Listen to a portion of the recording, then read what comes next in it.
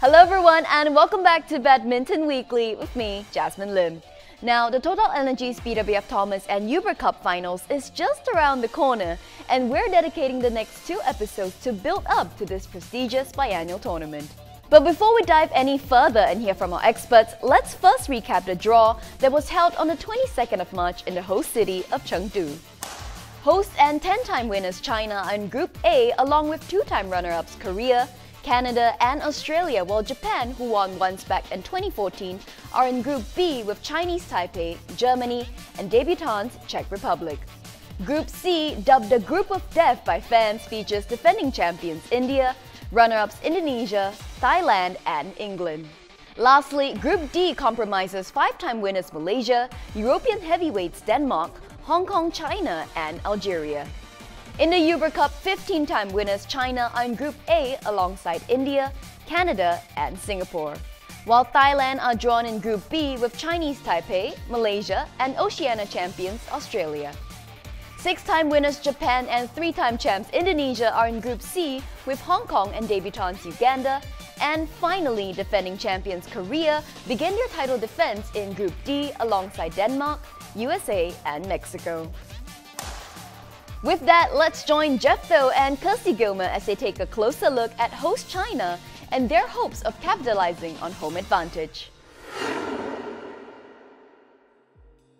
If you want to have a look at the strongest team on paper for China, they look like a strong contender to win the Thomas Cup this year. Well, men's singles is such a huge element of the Thomas Cup, and because there's three matches of men's singles in each tie, China has two of the top 10 in men's singles world ranked players, that's Shi Yuqi and Li Shifeng. And then they've got two more in the top 20, which is Lu Guangzhu and Wang Hongyang. So I think from a men's singles point of view, they're really very very strong because they've got four in the top 20 but even if they send like a younger team they still have a very very good chance of winning. Just like they did in the asian team championships where they still came out the champions even though countries like malaysia india and japan sent out all of their top players. From a depth point of view i feel like china has the best depth in the the men's singles event and as we know, in men's doubles, there are only two matches in each tie compared to singles, which has three matches. So if we just look at the top 10 world ranked players, China has two pairs in the top 10. That's Liang and Wang, and Yu and Ou. And then we've got He and Ren, which is number 11, so almost top 10. So I know that world ranking alone doesn't determine whether someone is selected over another person and who will win on the day of competition. But I think that we can all agree that China will be a very big contender for the Thomas Cup title, even though there's a lot of competition out there still. So, because they have this depth, maybe they the extra bit of home support can help them get over the line and they can repeat what they did back in 2012 and bring the Thomas Cup back to China. I think uh, that's the, the beauty of uh, team championships is the surprises that we can have. It's just the dynamic of the, the situation and the circumstances just a little bit different. We saw kind of an upset um, in the last uh, iteration of the Uber Cup with Korea uh, beating China in fairly dramatic fashion. We went back and forward until it was two each and we went to that fifth game. I don't think anyone really had their money on Korea, especially, you know, if we look at China's strength in their women's singles. Uh, they have five players in the top 15 and four of them are in the top 10. And then if we look at their doubles pairs, we have four pairs in the top 16. Um, so yes, I think it is China's competition to lose. And then if we also add in their extra squad member of a home crowd, and let me tell you, I've been in an arena with that crowd against me. It really does feel like, you know, they've got extra members on their team. So it, it's, I think it's really in China's hands um, and it's China's competition to lose. Now, as mentioned earlier, alongside China's Uber Cup team in Group A are Canada, Singapore, and India. The latter two teams have fielded a rather young team, but despite that, India's Ashwini Ponnappa and Singapore's Yeo Jia Min expressed confidence in their squad's potential to spring a surprise or two in Chengdu. Well, yes, this time around, India is going to be sending a very young team to the Uber Cup with quite a few of them having their first experience being a part of the Indian team on a big scale like the Uber Cup. And we've got players as young as 16 and 17 who are on the team. Of course, the ideal situation and scenario would have been if the entire team could have been there. But since that isn't to be this time around, I would say it's going to be interesting to see if the young team can take the pressure of going there and performing. And of course, it's going to be very difficult, Herculean task to keep up what happened at the BATC. But I'm sure a lot of them would be going out there to make sure they give their best and win a point for the team. So it's going to be pretty interesting to see how it goes because we have players like Anmol and Ashmita along with Tanvi Sharma who were a part of the BATC and who played a very crucial and critical role in winning matches at ties which needed those points. But having said that, you also have the advantage of being young, wild, and free, I guess.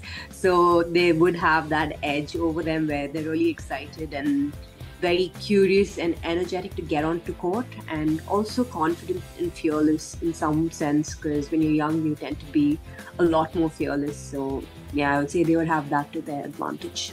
And india is on the rise currently so it's really good to make sure that we showcase the next generation of talents and uh, it'll be great to see them perform and do well even though it's going to be very difficult but having said that you never know what's going to happen and i do wish the girls all the very best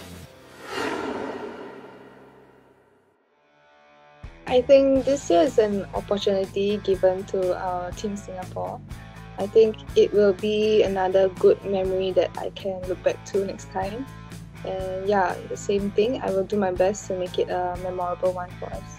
Recently, you know, the team in Singapore has been a younger one, um, and that has not competed a lot. So I kind of feel that it's also my responsibility to show them how to put ourselves out there and how to prepare for competitions and things like that. So I think these little things um, may add up as pressure, but um, I'll just take it in my stride. In terms of playing against those were you know, 30 players or so, they will not feel as um, comfortable. But I think every opportunity like this will make them get used to it and maybe hopefully at, at the same time gain confidence with every opportunity. So yeah, I think with time they will get better. Even if we may not be at the same in terms of physicality or technicality. Uh, I think first thing is we have to bring the right mindset out. Um, you know, be fearless and not to be affected by opponent or you know, it can be affected by many things. So firstly, I think it's to prepare the minds of all the players before going in. Group B of the Uber Cup sees Thailand and Chinese Taipei grouped together, sparking excitement among fans for a potential Ratchanok Intanon and Tai Tzu showdown. These two have met each other 35 times before, and their encounters have always been nothing short of exciting. Now, let's turn to Kirsty Gilmour as she breaks down what could be a potential 36 electrifying meeting between the two. We could, as fans, be in for a rematch of uh, 2012 Uber Cup and 2018 Uber Cup with Ratchanok versus Tai Ying. If they do get to play, we're in for an incredible match. Uh, I think 18 of the 35 matches have gone to three sets. Um, Tai Tzu Ying has a 20 to 15 head-to-head -head win advantage and she's won the past Uber Cup matches of this pairing. So yeah, it's one that fans are, are really looking forward to and we really hope we get the chance to see it. It's for sure both players are going to come with shot quality. They're going to come with variation of shots and then their speed and their coverage of the court is two of the best to ever do it. They're really they're quite similar players in, in that sense, and they just bring a calmness to the court. Nothing ever seems too rushed or desperate. Saying that, I think Ratchanok has a bit more danger overhead. She has a bit more overhead power. That is brilliant. Service over. Four, three. So strong, Intanon. But I think Tai Tzu-Ying has slight advantage at the net with her deception and with her skill. That's not to say Ratchanok doesn't have that. Not just the net she can play, some magical shots. Look at that. No look from the back line. That's unbelievable. So for me, with the attributes that both players bring to the game, it's going to come down to on the day who can adapt and acclimatise to the conditions in the arena, who's got that feeling for especially those mid-court uh, and net shots to set up their attack. And because it's a team tournament, I think it's who utilises that kind of extra man on the on the field. For me, I would slightly lean towards Tai Tzu-Ying taking this head to head. Um, having said that, Ratchanok seems fairly confident that she can get the win and help Thailand to get to, she feels, you know, at least a semi. She feels they're capable of at least a semi final, which would put them in the medal contention. So, um, yeah, she must be feeling really good about her form. Um, and we all know Ratchanok's an absolute world class player, so we'll see what Team Thailand can put together on the day. Yeah, for sure. I'm happy to be a part of that time, and for this time, I also still be the women's single for Thailand team. So uh, I just do my best. I, I don't know another player, but I believe that Thai can go to the semi-final at least.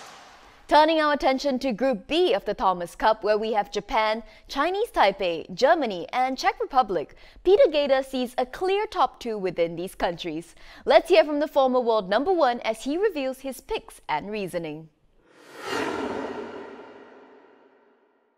Well, for, for me, uh, the, the clear favorites of Group B uh, will definitely be uh, Chinese Taipei and, and Japan. Um, I don't see Germany or Czech Republic uh, being able to to harm uh, the two other teams, and um, they need they need more than a good day to be able to to get close to a win. So for me, it's it's quite obvious that Japan and Chinese Taipei will, will go through from from this group.